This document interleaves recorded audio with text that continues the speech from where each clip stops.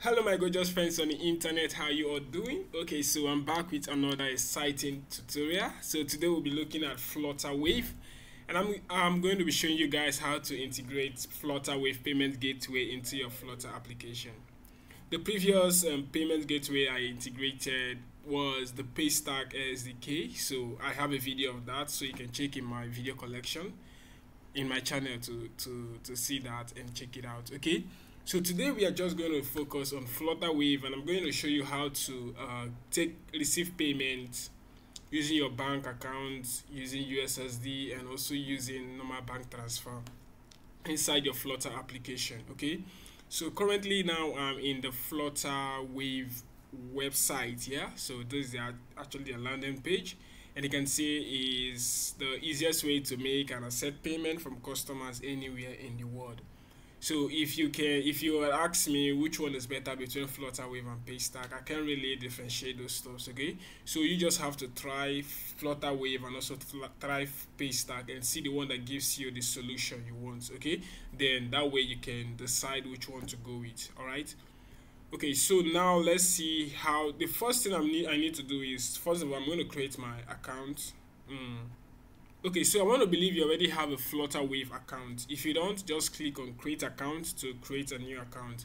But if you already have one, just sign in. Okay, so I have already signed in to the pay Flutterwave uh, dashboard and currently this is my dashboard and you can see this where the test okay the test payment which I did I had to check if this stuff was actually working and it's actually working and you can see I'm currently in test mode and uh, if I want to switch to live mode, test mode is normally for development. Okay, so if you watch my play Paystack uh, integration, I actually explain most of these stuff. Okay, so if you're in live test mode, you're actually in development mode, so you're testing your stuff and all the stuff.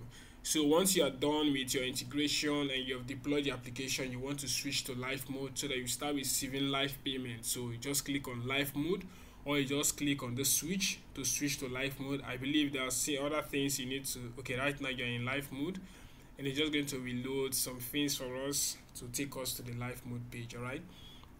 But currently since we are actually and you can see my transactions there is nothing here because i just changed switch to live mode and i've not received any transaction okay? So i just go back to the test mode because that's what we're, go we're going to be working on all right? So while this is loading i'm going to go to my we're going to build our application right now. So what i'll do i'll open my terminal. So this is actually the directory i want to see store the i want to create the project in. So i'll just click flutter create.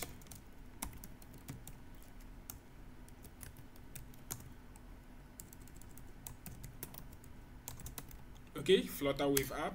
And uh, hit enter and just let this stuff to to build all right so just a few seconds we should be done.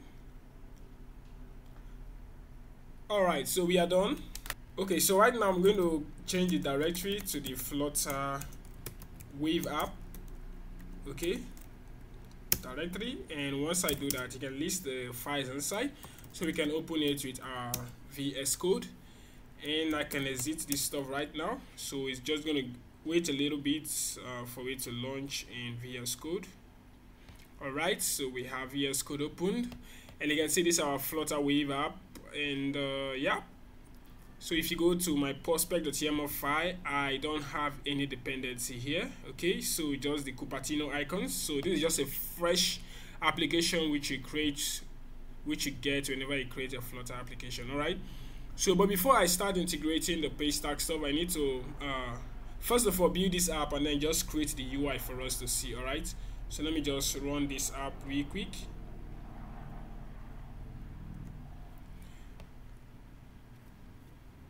Okay so our app is currently running. So let me bring up the emulator.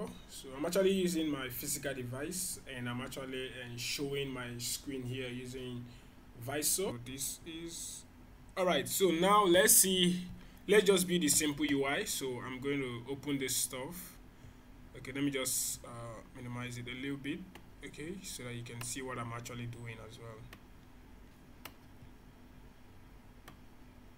All right like so. So now right now we have the simple app. So what I'm gonna do I'm gonna delete the whole of this okay so because I want to build the stuff from scratch. So I just have import okay material okay like so. And uh, the first thing is to have the main uh, run up. Okay. So I have my app. So first and first is going to be a stateless widget. And I have the app. So here I'm just going to return the material app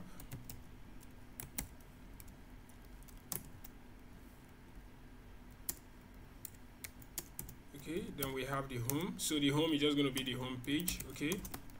Like so.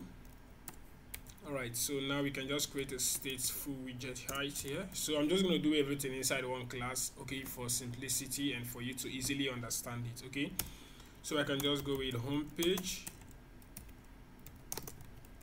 Alright so that's the home page of our application okay? So I can do a hot restart now and it should show blank because we don't have any scaffold widget here but let's see. Okay so just a blank page because there's no scaffold widget so let's just replace the stuff with a scaffold. And uh, save it. Uh, it should show white now. Yeah. Okay so abba. And I have this to be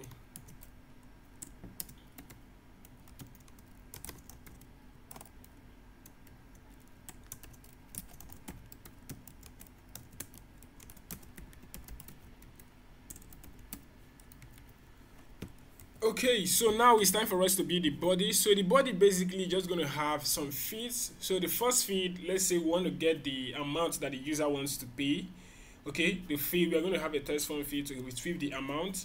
And then secondly we are going to have a test form feed where the user can put in their email address. And as well if we want their phone number they can put in their phone number okay?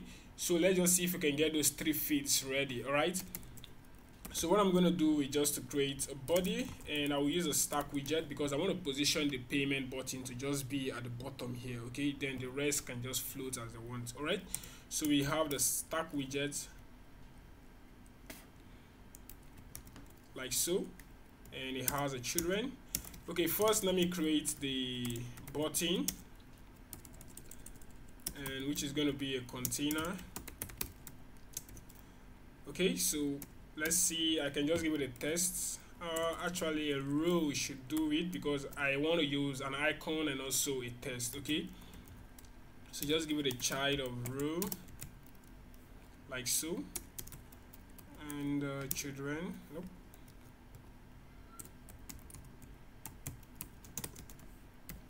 Okay so first thing first we have the test okay? Mm, icon first okay so we can just give it something like this. Icons dot payment. Okay and then we can have okay a size box. Okay let me just show you guys what i'm actually doing. So i'm going to save this and if i save it i believe it shouldn't show at the bottom. Okay see where it's showing right now. Okay so let me just give it some padding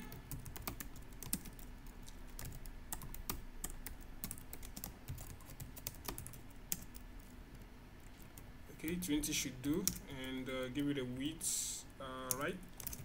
So just take the width of the page okay of contest okay? I'm not going to style this stuff much so this one should just do okay? And that's it. I can give it a color. Is there any need for a color? Mm, let's see if I can give it a light blue color okay? Just give it a color. And let's say color dot light blue okay? Like so and save this and we should have a long rolling. Okay so this is actually the icon. So i'm going to move this stuff now to the bottom instead of there. So i'm just going to do inside this position i just set the bottom to be zero to move it to the bottom of the page. All right so now we just stick it there. It's not it just fixed there. So it's not going to move. Even if we have a screw or a list view it's not going to move. Okay so now next i'm going to have a test. And the test is just going to be like this. So just have uh, pay with flutter wave or let's just say make payment. So whichever way you can style it whichever way you want. Is your application so you should know what you want to do how you want to style it and all the stuff.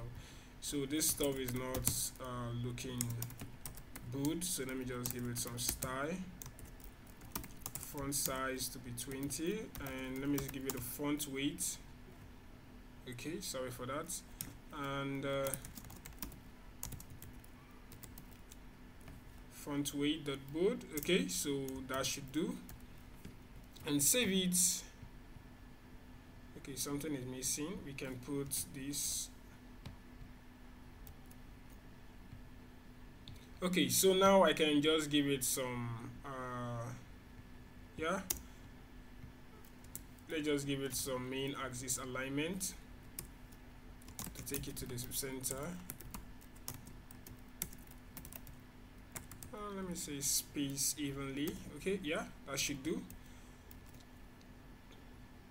Alright, so that should work. So right now, what I'm going to do now is just to add a gesture detector. So whenever we tap on it, we just call in the, uh, the Flutter Wave Payment Gateway and everything will be set. Okay, so just add the stuff with the gesture because I want to make it tappable. So just add gesture detector here. Okay, and uh, on tap. So for now, since we have not started doing any stuff there, so I'll just leave it empty as it is. Okay, so next we have this stuff. Okay so we have the button. So this is the button. Now let me uh, build the UI real quick for test form feed and all the stuff okay? So maybe I'm just going to skip this. I'm just going to pause okay for now. Then once I build the test form feed I'll just display it to you alright okay so now I've created the two I've created the two test form feed. One for receiving the email of the user and then the second one is for reducing um, receiving the amount that the user wants to pay. Okay so this is it. I just wrap them inside a, a, a padding padding widget and then give it a padding of 10 with a column and they have two children. The column have two children which is one the container and the second one is also a container test form feed for amount and also for email okay? So now i'm just going to i'm going to create their controllers real quick for retrieving their data from the okay? So to retrieve the data that the user just inputted okay? So we have test editing controller. And this is going to be email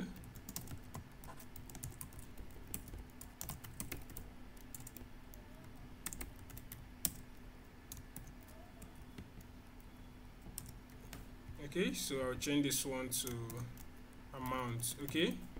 All right so now we can pass it here. So this one takes in the email which is the controller. It takes in email. And this one nope right here.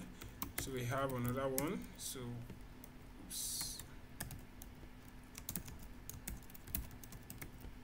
all right so now we have the two tests to actually retrieve the data from the test. Okay so now inside this gesture detector i'm going to try to retrieve those tests and i want to make sure that the both of them are not empty okay? So i'll just create a final variable and call this one email and call it test from feed no? Okay so from the email controller dot test. Okay? All right so i'll be able to get it from there and also get this one for amount okay so we have amount dot test. So i want to make sure that those fields are not empty. So we need to validate it. Okay so i don't i don't know how you want to build your own app but i'm just doing this one for example sake. Okay so we just to have an if statement here. Okay so if uh, the email dot is empty all like the both of them must be filled. Like i want to make it mandatory. So if email dot is empty or the uh, amount. That is also empty. Then we can just throw or show a snack bar like calling scaffold messenger. Out of contest. Let's show snack bar. And we can call our snack bar. Okay just call it test. Our feeds are empty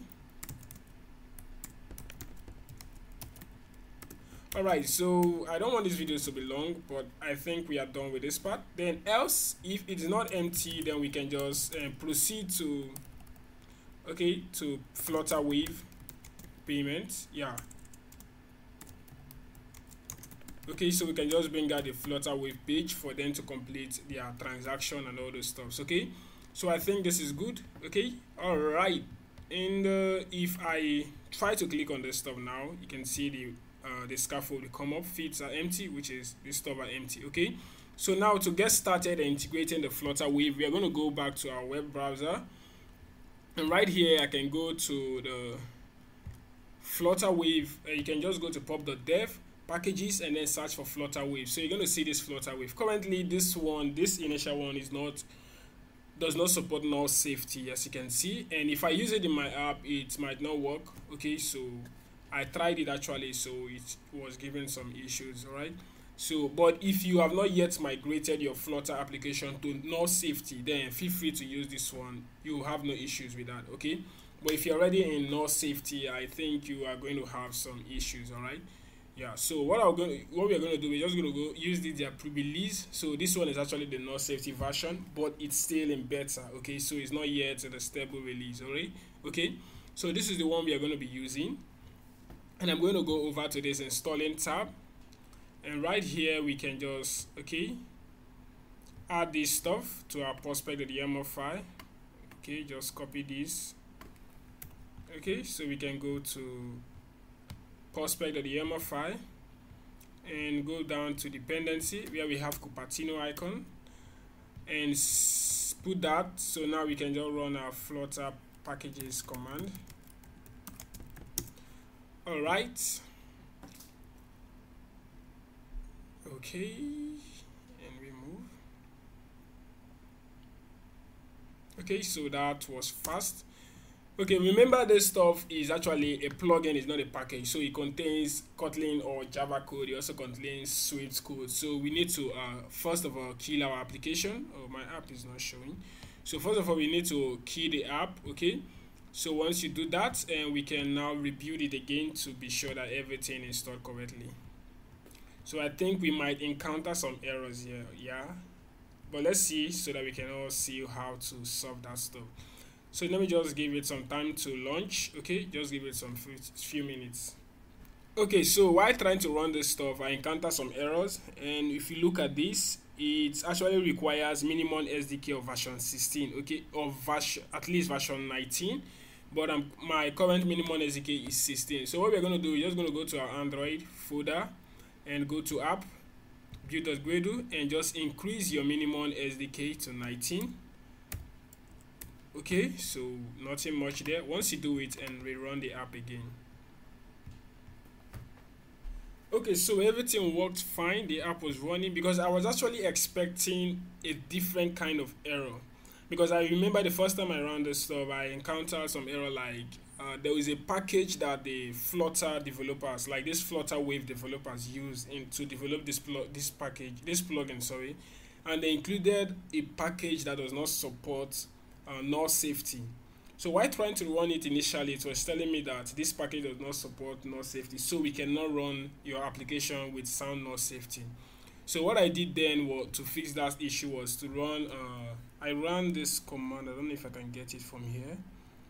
And yeah, I ran this command: flutter run, no sound, no safety, and that's that way the uh, the app was able to build and compile properly in my application okay? But right now it's not really showing that error. I don't know why but we can still continue with that because i was i was actually expecting the error so that i show you how to fix that. But since it didn't show we can use this method i showed you this flutter run no sound no safety in case you encounter such thing. Or you can still go to this their view issues and okay just click here and it will take us to our issues page and someone have already uh, complained about this stuff which is not safety. Uh, so we can just go here. Okay so and I think okay and go to it gives I think someone okay yeah this is actually the method you can use. Uh, okay it was actually showing this error yeah triplet this yeah triplet this so it does not support null safety that's why. So the another way you can fix this is just to add this flutter wave.git so you can copy this stuff and add it here inside your postpet.html file. I'm only showing this assuming you have that error I'm, I'm, talking about, but if you don't, then there's no need adding this stuff. So you can just add it like this and remove this one, okay? But since we didn't encounter that error, no issues, uh, we can just leave our app as it is, okay? So since it's working, can just leave it as it, as it is, all right? So now I can just close this stuff here. I just wanted you guys to see how to do that. Okay, now I'm going to see how to integrate this stuff and the uh, the method is already here so I'm not going to type everything from scratch. I'm just going to copy this code. Okay so feel free to copy though. Okay so we can just copy this. Okay. All right I'm going to explain this stuff later. Let's just go back to our code. So what I'll do okay let me bring out my application first okay so what I'll do here now is just to create a function a method actually. So this method is going to be uh, make payment.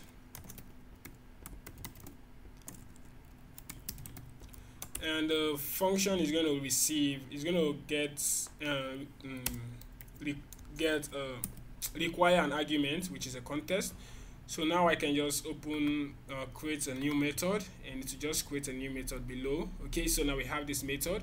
So what I'm going to do is just to paste that code I copied right like so. And now I need to import this flutter wave. So you can just see what is happening here uh, basically. Uh, let me close this.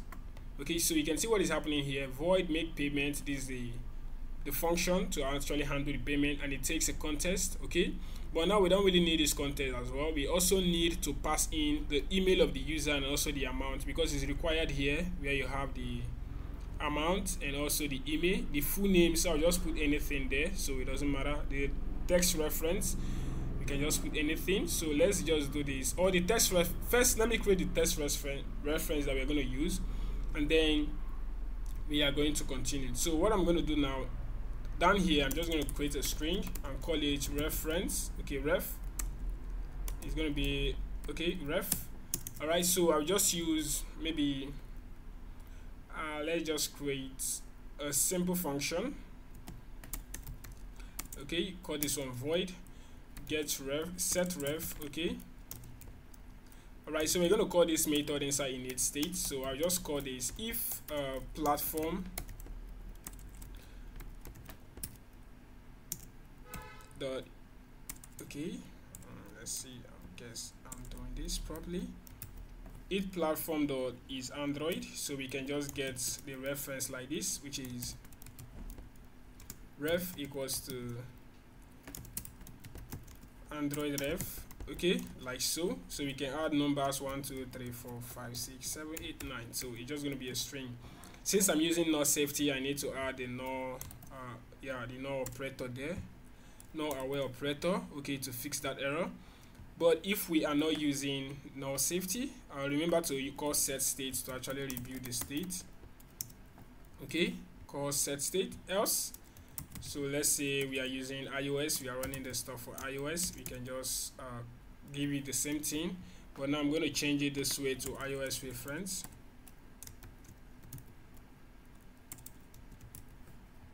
Okay ios ref but this stuff needs to be changing dynamically okay? Uh, you can just generate a random number here. Yeah if you want because the reference needs to be unique from other person's own. So you can just generate a simple random number. So let's just call this one rand.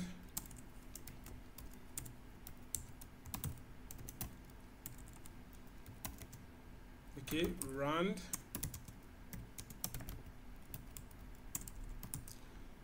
okay currently i'm just trying to create a random number okay? So nothing much that is going on here. So make sure you import this stuff.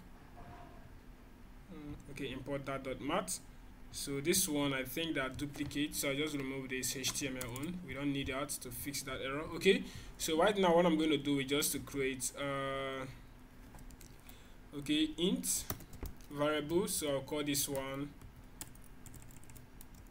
okay number and I'll call it round dot next int. So we can just call this one 2000 okay? Like so. Then now I just maybe in between this stuff I'll just uh, call this one. Okay like this. And I'll just do something like this. And call number. Okay? All right so we can also do the same thing here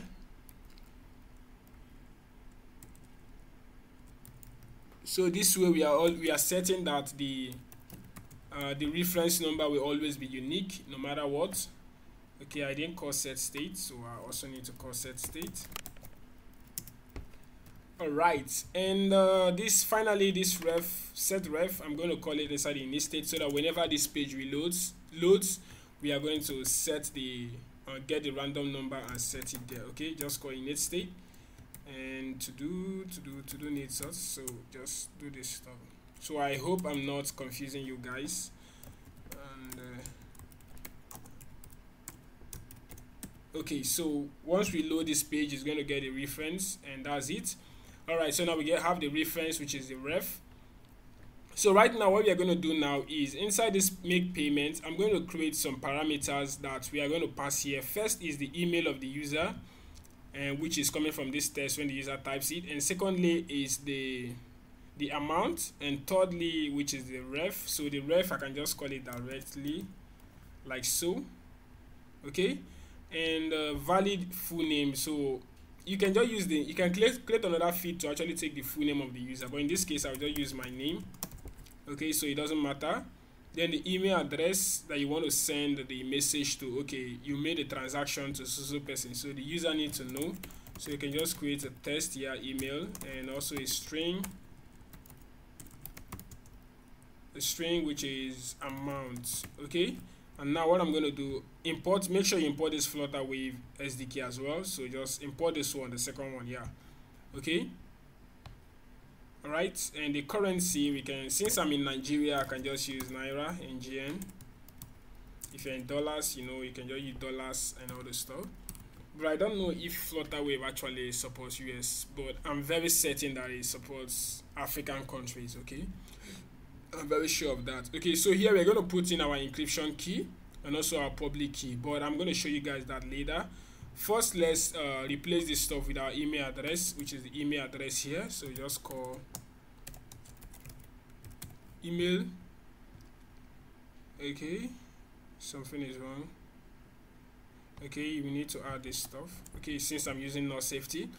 All right so the phone number we can just leave this phone number like this but you can replace it to the phone number of your customer and is debug mode true? So we are currently in debug but you want to, if you want to release release live so just change this stuff to false and also make sure you change you switch to live mode inside your dashboard your flutterwave dashboard okay? But since we are in debug mode i'll just leave this stuff to be true.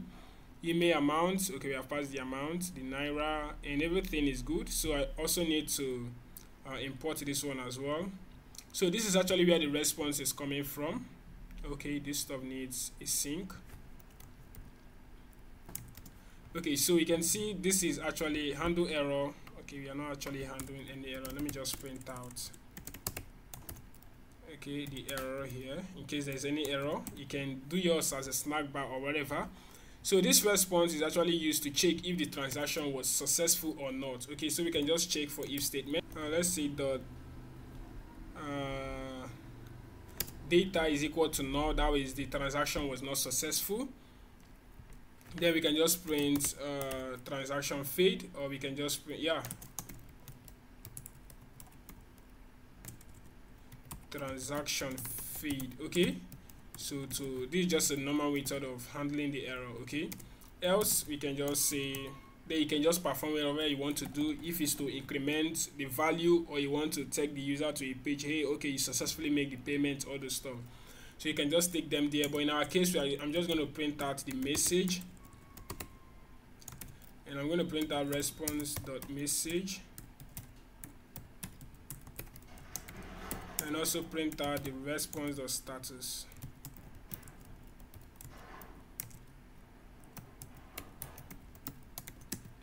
like so okay? So this is it. There's nothing much going on here. So now what I need to do now is to get my encryption key and also my public key. Very important if not we won't be able to make this stuff. But I'm seeing errors somewhere okay I need to terminate this stuff. Like so and also another one error somewhere too. Okay so now I need to pass in the email and the phone number. So let me see the first one that comes in which is actually the email. So pass in the email. And dot trim. So trim is used to remove white spaces before and after the test. And then finally we have the amount. So we can use dot trim too. Okay like so.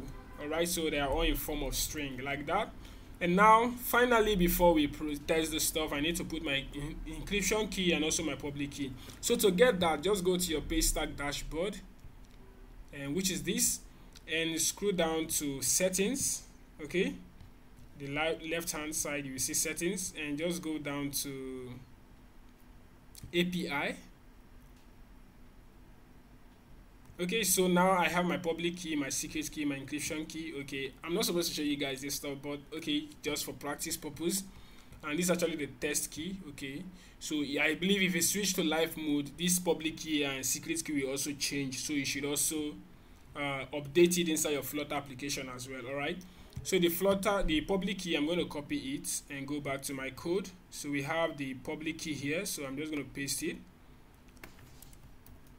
Okay and then the secret key okay no the encryption key copy that as well. So I'm going to paste it here too. Alright so I think that is all. Is there anything again? Okay.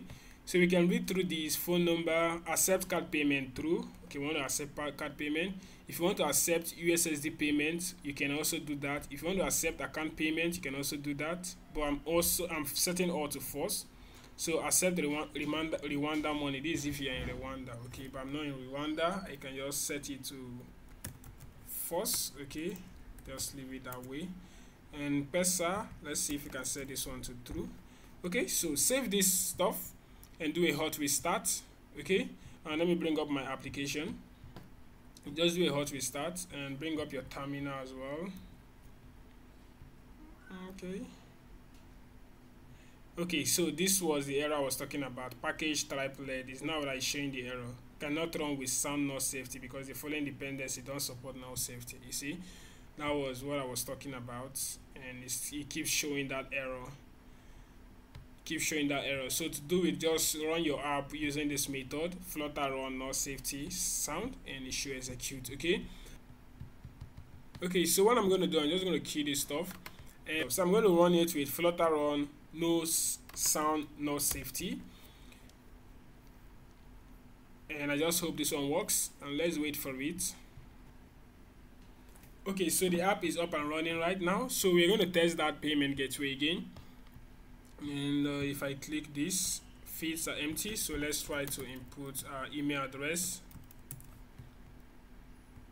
Okay I also put the amount okay you can close this and click on it make payments all right so you can see now it's taking us to a new page secured by flutterwave so here now you can make your payment. How would you like to pay? So i want to pay with card because that's the only method i specified here which is true accept card payment to true okay so i don't know why this accept pesa payment is not working. Okay so once you click on pay with card and it's going to take us to this page card payment, card number, your month, your year. So assuming you're already in live mode, you don't need to worry about this because your users already have their card. So they will just input it and click on pay and this transaction, everything will be made. And then we can then check for the response here. Okay, so if it's successful, we can just do what we want to do. Okay. So currently now to test this stuff out, I'm going to use a test card. So we have a test card here. I can just go to okay so this is actually developer.flutterwave.com docs test card. So i'm going to test with this test card. So just copy this and we go back to our application. Uh, yep. Okay. So paste it in. Okay then the month let's see the month as well.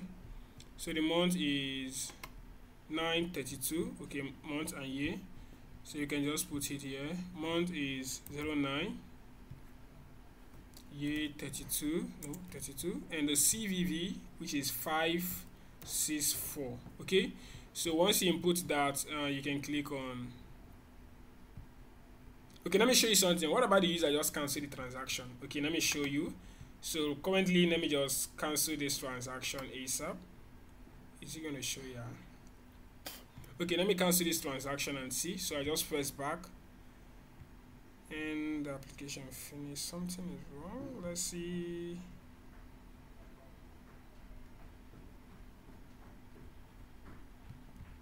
Okay I just press back. Okay so we have you can see we have this message here which is receiver null. Uh, the getter data was called a null so receiver null try calling data. So I think we have some issues here so I'll just keep it like this if response okay is equal to null we can just ignore that stuff. Okay if it's equal to null we can just print transaction feed else you can then check if you can just check if the response dot status okay is equal to success. Okay so if it's if it's equal to success saying we know that everything was correct. Yep. You can just print out the status.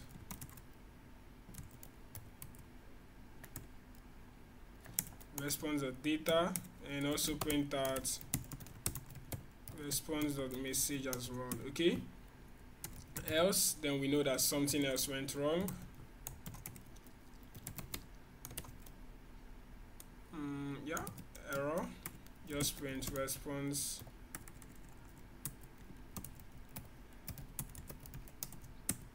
Like so okay? So now I think I there should be a way to do hot reload here let's see. Uh, reload. Okay performing hot reload.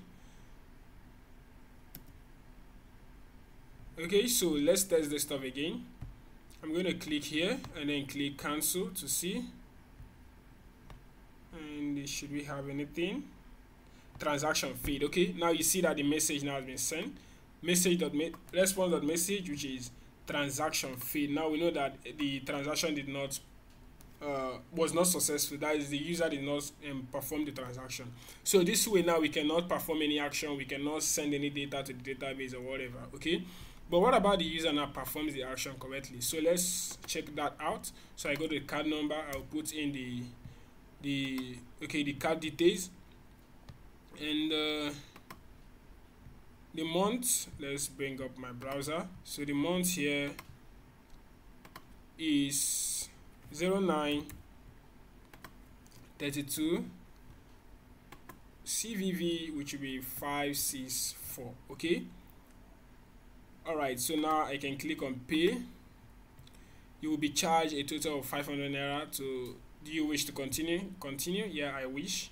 So you just give it some time initializing payment and now we can now put the pin which is 330 3310 okay?